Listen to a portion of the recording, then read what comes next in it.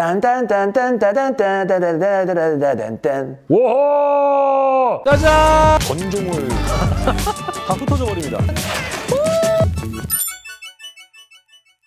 네, 상추들 반갑습니다. 오늘 어떤 녀석 해볼 것인가 레고를 준비를 해봤습니다. 레고 중에서 최근에 나온 마스터 빌드 시리즈를 한번 가져와 봤거든요. 스타워즈 정말 오랜만에 하는 것 같습니다. 75290 마스터 빌드 시리즈의 모스 아이슬리 칸티나 되겠습니다. 아, 여러분 이렇게 대형 제품 너무 오랜만이고 3,187피스에 가격대는 46만 9,900원입니다. 제가 레고샵에 갔다가 실물로 보고 반해가지고 레고 코리아에 요청을 좀 드렸고 보내주셨습니다. 제품 지원해 주셔서 감사드립니다. 스타워즈 4편 새로운 희망의 한 솔로와 루크 스카이워커가 처음 만났던 기념비적인 공간입니다. 2004년에 4501이라는 그 아주 조그만한 old 레고 스타워즈 제품부터 해가지고 2014년에 75052 제가 지금 현재 가지고 있는 제품이 있는데 뭐그 녀석도 또 발매를 해줬고 2년 전 2018년에도 75205라고 79,900원짜리 비슷하게 또 발매를 해줬습니다. 하지만 그 녀석들은 잔잔바리들 요 마스터빌드 시리즈 보통 UCS 시리즈라고 했었잖아요. 요즘에는 이렇게 마스터빌드 시리즈로 나오긴 하는데 지금부터 한번 보여드리도록 하겠습니다.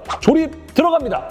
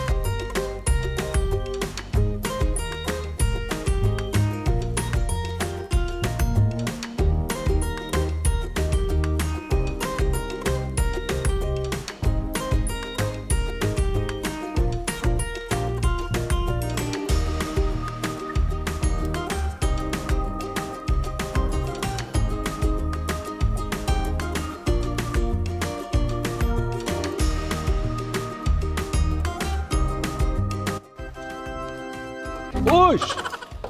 자, 여러분 어떻습니까? 3,200피스 가까운 요 녀석을 대여섯 시간에 거쳐서 틈틈이 2, 3일에 거쳐서 조립을 해봤습니다. 영화상에 단편적으로만 보여줬던 그런 장면을 레고로 표현해준 모습에 깊은 감명을 받았습니다. 요 녀석 전에 제가 잠깐 말씀드렸던 75052 2014년에 발매됐던 거를 살짝 한번 비교해서 보여드릴게요. 요 녀석이 47만 원 가까운 것이라면 요 녀석은 랜드 스피더가 들어있네요. 모스 아이슬리 칸티나의 가장 중요한 포인트가 이 랜드 스피더인데 이 랜드 스피더는 들어있지 않아요. 대신에 다른 랜드 스피더 두 개가 들어있습니다. 9235 랜드 스피더입니다. 꺾여 있는 부분들 표현을 해줬고 근데 이게 영화상에 거의 안 나와요. 루크 스카이워커랑 벤 케노비가 이렇게 지나갈 때 살짝 그냥 CG로 지나가는 뭐 그 정도 느낌을 봤었던 것 같고 여기 또 하나 더 있어요. 9000Z001 랜드 스피더 그리도가 타는 걸로 설명서에는 나와 있습니다. 사실 요거도 제가 영화를 다시 보기로 찾아봤는데 여기 모스 아이슬리 칸티나 입구에 이렇게 살짝 걸쳐서 서 있더라고요. 그게 이렇게 또 발매가 됐습니다. 이 녀석은 2018년에 나왔던 75205에도 들어있는 것으로 알고 있습니다. 저는 그거는 구입을 안 했어요. 그래서 신형이랑 비교했을 때 어떻습니까? 굉장히 압축해서 작게 들어가 있습니다. 그래서 이런 식으로 살짝 펼쳐주면 일자로 벌어지게 되어 있고 뒤에 유백이 먹는 우물통 같은 걸 이렇게 밀어주면 나왔다 들어왔다 할 수 있는 거예요. 뭐 큰 의미는 없지만 뭐 이런 부분들을 재현을 해준 느낌 그리고 뒤에도 요거 수중 증폭기 타투인 행성에 보면은 이런 애들이 많습니다. 타투인 행성이 사실 거의 사막이잖아요. 물이 부족해서 그게 들어가 있습니다. 자 이제 피규어들을 하나씩 보여드리겠습니다. 여러분 피규어만 21개입니다. 눈 크게 뜨고 보시길 바라겠습니다. R2D2와 C3PO가 있습니다. 이 녀석들 때문에 이 여정이 시작이 되잖아요. 그리고 같이 들어가 있던 루크 스카이워커와 오비완 케노비, 벤 케노비가 들어가 있습니다. 그리고 거기서 운명적인 첫 만남을 갖죠. 한 솔로와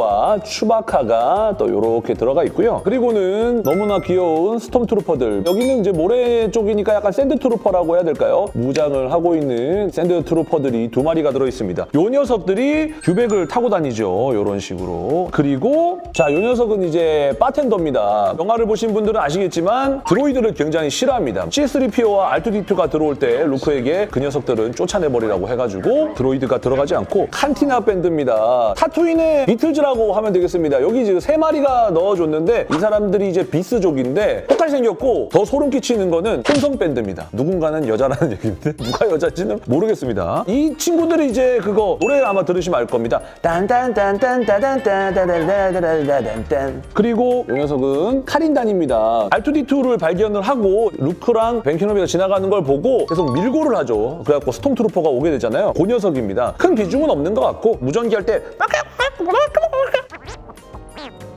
목소리 이상하게 되는 그런 녀석이 들어있고요. 요거 딱 보면은 기억나시는 분들도 있고 처음 보시는 분들도 계시겠지만 닥터 에바잔이 하나 들었고 그다음에 폰다바바가 들어있습니다. 루크한테 시비를 괜히 걸어요. 루크를 지금 밀치니까 폰다바바가 이제 총 쏠라 하니까 벤케노비가 lightsaber로 얘 팔을 잘라버리는 비운의 녀석들입니다. 자 그리고 요 녀석 기분 나쁜 웃음을 하고 있는 라브리아 실제로 지금 얘는 무표정이네요. 그러면 분명히 two face가 될 겁니다. 오케이 혼자 원샷을 받잖아요. 요렇게 이렇게 썩소하고 있는 요 모습까지 보여주는 라브리아가 들었고 이렇게 두 마리 맘모나돈과 크루체칼파스가 들어있습니다. 자 그리고 박쥐처럼 생긴 요 녀석이 바로 카베입니다. 좀도둑이라고 하고 여자라는 점. 그리고 자와족. 자와족이 사실 여기에 잘 보이지 않는데 여기 넣어줬고 여기서 또 그래도 좀 중요한 녀석 중에 한 명입니다. 유명한 그리도. 루크 스카이워커가 한 솔로랑 엘더란으로 가기로 계약을 하고 나갔을 때 얘가 솔로를 잡으러 왔 왔죠. 왔었는데 그렇게 앉아서 둘이 대화하다가 한 솔로의 총에 맞아서 죽잖아요. 짧고 굵게 살았던 그 녀석도 들어가 있습니다. 자, 이제 이 안에 본체를 한번 보여드릴 텐데 정말 귀엽고 깨알 기믹들이 있으니까 계속해서 채널 고정해주시고 구독과 좋아요 부탁을 드리겠습니다. 자, 이런 식으로 너무 예쁩니다. 이거 살짝 이렇게 그냥 뗄 수 있어요. 떼면 안이 더 자세히 보이는 것을 알 수가 있고요. 양쪽으로 수분을 받아놓는 요 녀석들이 두 개가 들어있습니다. 요 녀석들도 빠집니다. 여긴 더 크고 오른쪽은 왼쪽은 좀 작네요. 이렇게 두 개 들어있는 상태에서 뒤쪽에 보시면 쓰레기장까지는 아니고 짜투리 공간이라고 보시면 되겠습니다. 이런 게 하나하나 깨알같이 들어있어요. 여기는 망원경경 같은 게 또 들어있네요. 이걸 이제 한번 열어서 보여드리도록 하겠습니다. 이렇게 보면 영화상에 들어가 있었던 그런 느낌. 여기 입구거든요. 이렇게 올려서 입구로 들어가는 그런 느낌입니다. 여기도 사실 뚜껑들이 다 이렇게 올라가긴 하는데 이 돔 형태가 타투인 행성의 건물들의 구조랑 똑같기 때문에 그냥 이렇게 넣어준 것 같아요. 뚜껑들을 다 열어주면 내부가 훤히 보이는 건술집이 나타나게 되는 것이지요. 와 이렇게 일자로도 열어서 전체적인 내부를 감상하실 수가 있습니다. 건물 자체를 이렇게 열어서 사용하는 것보다 기역자로 좀 꺾어놓고 보는 게 더 예쁜 것 같기는 하더라고요. 그래서 내부를 하나씩 샅샅이 보여드리도록 하겠습니다. 처음에 사람이 들어오면 몇 움직이는 그 장면이 지금 제가 기억이 났는데 그런 것까지 표현이 되어 있습니다. 여기에 C3PO와 R2D2가 이렇게 서 있고 원래 루크가 더 앞장서서 서 있습니다. 지금 공간이 좀 협소해서 뭐 이런 식으로 서 있는데 바텐더가 droid는 들어오지 말게 하죠. 너무 예쁘지 않겠습니까? lightsaber 손잡이라든지 총 이런 부분들 호스 느낌 위아래로 이렇게 해서 색깔별로 또 이런 식으로 서랍들까지도 표현이 예쁘게 되어 있고요. 후문 안쪽에 청소 도구라든지 수납 함이라든지 예쁘게 되어 있습니다. 안쪽으로 손님들이 앉을 수 있는 테이블 하나, 둘, 세 개 양쪽으로 잘 되어 있고 만석일 때는 여기다가 좀 넣나 봐요. 반대쪽을 보여드리면 세 군데 공간이 있는데 여기는 작은 공간 그리고 여기도 만석일 때 쓰는 공간인 것 같고 이 부분이 한솔로와 그리도가 앉아 있었던 그 공간입니다. 그리고 여기가 우리 칸티나 밴드가 연주하는 그런 느낌. 원래는 7인조 혼성 밴드 뭐 이런 얘기도 있는데 실제로 저는 한 5명밖에 못 본 것 같기도 하고 실제로 피규어에서는 3개밖에 넣어주질 않았습니다. 돌아가는 이거는 폼이에요. 뭐 아무런 기믹은 없고 여기에서 연주를 하고 한솔로와 그리도의 대결 장면 깜짝 놀랄 만한 기믹을 하나 보여드릴게요. 그리도가 쏘았는데 한솔로가 또 먼저 쏩니다. 하! 그러면 이런 식으로 의자에 이런 식으로 왔다 갔다 할 수 있는 느낌 뒤로 넘겨서 보시면 이렇게 장치가 되어 있어서 오른쪽뿐만 아니라 왼쪽도 여기를 보여드리면 하! 하면은 한 솔로까지도 넘어갈 수 있는 느낌 뚜껑도 한번 닫는 모습 한번 보여드릴게요 자 여기도 이렇게 넣어주면 뚜껑을 다 장착한 범죄 소굴 선술집 되겠습니다. 다음에 이 녀석 별채가 또 있습니다. 기역자로 되어 있고 떼집니다. 이렇게.